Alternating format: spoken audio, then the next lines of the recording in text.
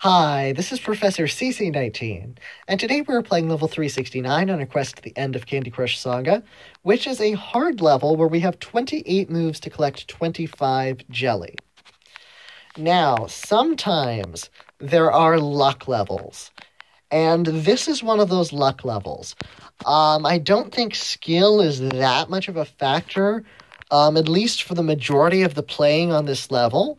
I think it's more based on luck. We have a fairly constricted board. We don't have that much space, and if the board doesn't cooperate, we're not going to get anywhere. So in this case, my recommendation is use a color bomb booster.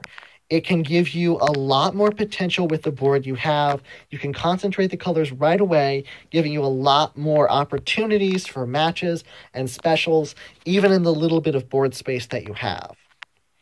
Now, I don't use boosters in every walkthrough video, and I don't recommend using boosters every level you play.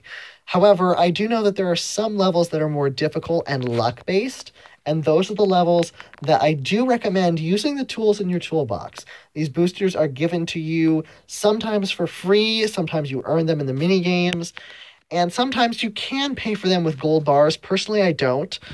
But my point is, they are the tools in your toolbox used to make these levels easier. Because sometimes, even this early in the game, there are luck based levels that can be quite difficult. Um, at my stage of the game, I am in the 4000s. My current level of progress is 4041. And at that point in the game, boosters are almost a necessity. The minigame boosters are huge assets. They make very difficult levels um, much less difficult. Not necessarily easy, but much less difficult. But yes, there are definitely levels where a booster is the best way to go. So our 25 jelly are all double thick in this 5 by 5 center area. It leaves us with only the outer two rows and columns to work with. We have cake bombs in which we have um, eight individual slices, which we need to clear in order to clear one layer from the entire board. That will help us with our five layer thick frosting, licorice locks, and we also have this wrapped candy and marmalade in the center. And that's going to be our biggest asset in clearing out these center slices of cake bomb, which we can't reach with manual matches. So I cannot take out purple immediately. If I could, that's absolutely what I would do because it would open up this center wrapped candy. In the meantime, I'm going to try and make other matches in order to get a better setup. Going to clear out as many slices of cake bomb as I can manually before using that wrapped candy, before going into action with that color bomb. Now, see here, I, of course it happens when I bring in a color bomb. I played this level a few times before. Um, I haven't brought in a color bomb as a booster yet because I wanted to play it a few times through. Um, I decided it was best, and now I get a lucky board. This is luck. This doesn't happen all that often, especially when we only have two rows and columns to work with, but we can create a color bomb with a perfect setup with the blue. Now we have two of them. And I'm wondering here, I could make a color bomb orange stripe combo. However, there's something else I can do. If I take out that licorice lock right there and then bring this color bomb down three, I have a double color bomb combo. Not uh, now, this would not be possible had I not brought in one color bomb as a booster. The other one was quite lucky. Sometimes, if you play a level a certain number of times through, you can get that. Um, but this is the result of bringing in a booster. Like I said, it makes these levels much easier. And in this one, I do recommend it. All right, so it removes one layer of the board, and most of our slices of cake bomb are gone. We only have one more slice in both cake bombs. And we do now have a direct strike on this wrapped candy to take out those slices and strike the frosting two times.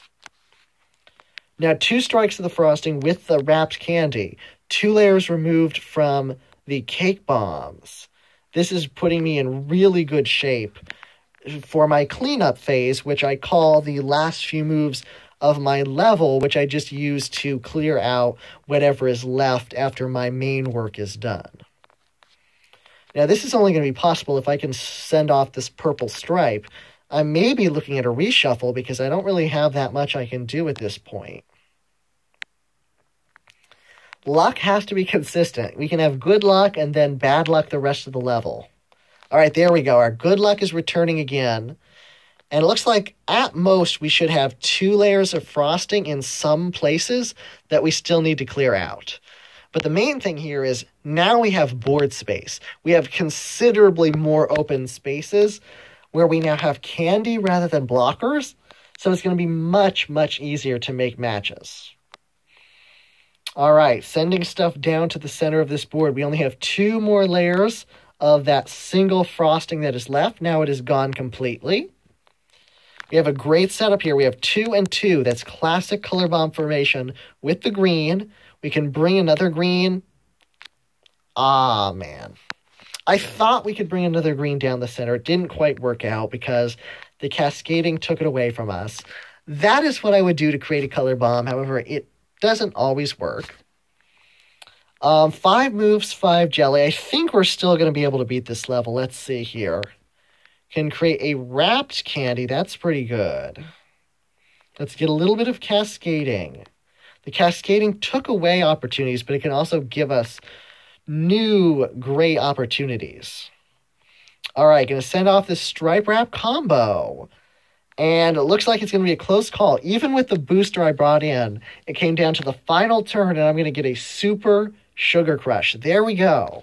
We beat this level on our very last move. All right. So that is how we beat level 369. This was my, I believe, fourth playthrough for recording purposes. One star, 109, 660. Not that great of a score, but I don't really care about stars. That is how we beat this level with the use of just one booster. Now, my best advice here is, like I said at the beginning, this is a luck level. If you want to beat it and move on to the next level, I would recommend bringing in a color bomb. It makes it much easier. If you have the patience to play it a few more times through, um, wait for a good board, try and capitalize on it, but sometimes it's still not enough. This really is a tricky level. Um, also, remember the in game boosters, if you're ever really close, just use a lollipop hammer. If you were stuck and you were down to the point where I was, but you couldn't clear that last jelly on the last move, I would absolutely recommend using a lolly hammer or a switch hand in order to outright clear it or at least set you up so you could clear the jelly and move on. Don't spend your time trying to beat a level without boosters just to say that you did it when you can easily use just one or two boosters and move on. If you found this video helpful to you, please subscribe. Same if you want to see more Candy Crush walkthroughs, subscribe to see more. If you are having trouble with any other level of the game, please leave a comment below so I can try and help you. And as always, thank you so much for watching.